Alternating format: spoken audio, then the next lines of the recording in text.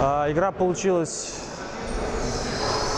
ну, не скажу, что легкой, потому что вначале мы медленно играли, много не получалось, много потерь было. Потом по установке тренера нам предложили бежать. Вот, быстрые отрывы, так у них состав возрастной, у нас помоложе, поэтому побежали и за счет этого набирали очень быстрые очки. Ну, на игру я никак не настраивался, потому что я ехал с работы, вот. Ритуалов особо нету. Так в машине музычку послушать перед игрой и все.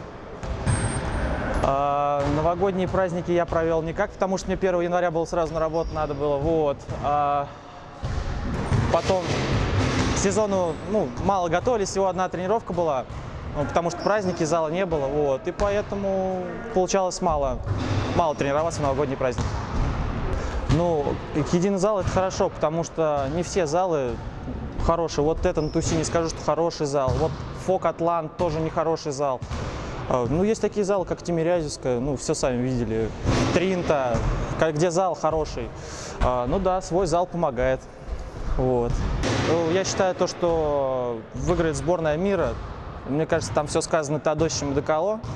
Вот. А Ургант Ургант любит баскетбол, я думаю, это подходящая кандидатура на матч звезд. А, Я дам 10 из 10. Во-первых, э, зал на Тимиряевской очень хороший, судьи, болельщики, подбор игроков, э, тренера. Э, Да все было на высоте. Не к чему, не к чему придираться вообще, не к чему. Я слышал то, что в этом году выбирал департамент по статистике.